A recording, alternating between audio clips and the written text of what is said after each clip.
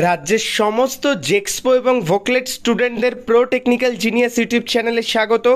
জেক্সপো এবং ভোকলেট স্টুডেন্টদের counselling প্রসিডিওরের date পরিবর্তন হয়ে গেল এবং পুরো কাউন্সিলিং প্রসিডিওরের যে পরিবর্তন, সেটা কিন্তু চলে এসলো এবং সেই জন্য সমস্ত ছাত্রছাত্রীকে নোটিফাই করা হয়েছে।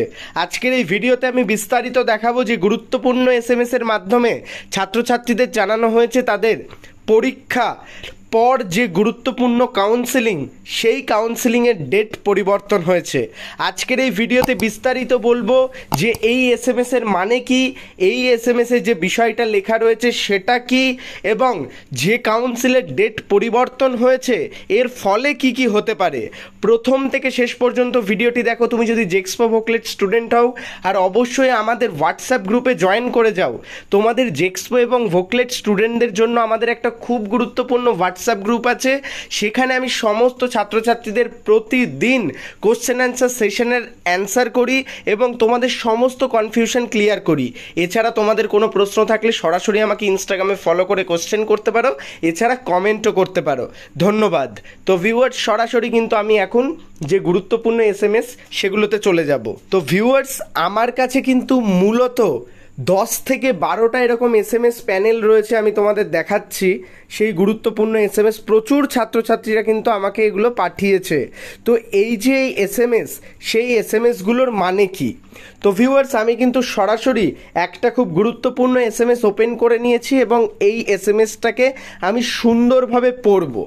তো এই এস এম এসটাই লেখা রয়েছে for admission in polytechnic online application will be closed on fourteenth August দু হাজার তেইশ please visit S C VTESD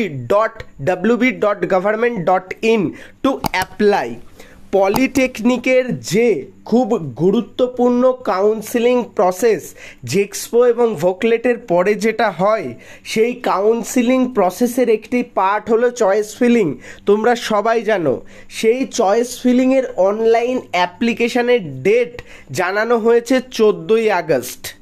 তো এখানে যে এস এম এসটা রয়েছে, তার বাংলা মানে হচ্ছে অ্যাডমিশনের জন্য পলিটেকনিকে যারা অনলাইন অ্যাপ্লিকেশন করেছ, সেটা চোদ্দ তারিখ ক্লোজ হয়ে যাচ্ছে।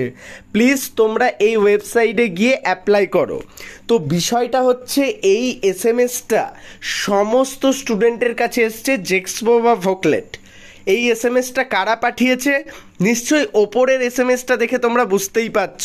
দেখো, ওপরের এস এম এসটা তোমাদের পলিটেকনিকে তোমরা যখন লগ ইন করেছিলে, যে ওটিপিটা এসছিল, সেই রকম পোর্টালেই কিন্তু এই এস এম এসটা এসছে। তার মানে এই এস এম এসটা এসছে, দেখো, ওপরে লেখা রয়েছে ফর্ম ডাব্লিউ বিএসসিটি অর্থাৎ West Bengal State Council for Technical and Vocational Education and Skill Development website থেকে। অর্থাৎ কারিগরি ভবনের পক্ষ থেকে সমস্ত স্টুডেন্টকে এই এস এম এস জারি করা হয়েছে।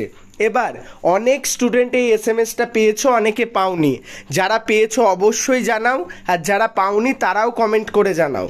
তো সেই ক্ষেত্রে আমি তোমাদের বলছি, তোমরা যারা এস এম এসটা পেয়েছ বা পাওনি, এতে কোনো প্রবলেম নেই। যারা পেয়েছ, তারা ব্যাপারটা জেনে গেলে যারা পাওনি ভিডিওটা দেখে নাও। আর তোমার সমস্ত বন্ধুদের মধ্যে শেয়ার করে দাও, যাতে তারা পেয়েছে কি না এই বিষয়টা জানে কিনা। অর্থাৎ তোমাদের চয়েস ফিলিংয়ের লাস্ট ডেট চোদ্দ তারিখ। অ্যাপ্লাই যে তোমরা করবে চয়েস ফিলিং প্রসেসে তো সেই ক্ষেত্রে আমি তো তোমাদের চয়েস ফিলিংয়ের জন্য অনেক আগেই ভিডিও দিয়ে দিয়েছি, যারা দেখনি, দেখে নিতে পারো। সেই প্রসেসে তোমরা আরামসে চয়েস ফিলিং করে নেবে।